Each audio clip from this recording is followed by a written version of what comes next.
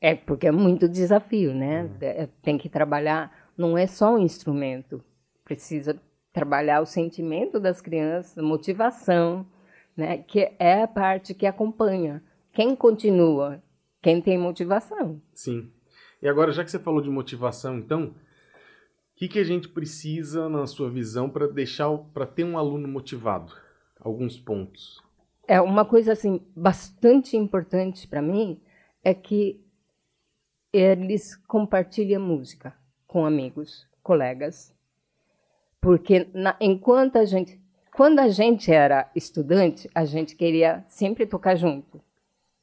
E no método Suzuki, no mundialmente, pode não conseguir conversar com o, o amigo que senta na sua estante, mas toca a mesma música.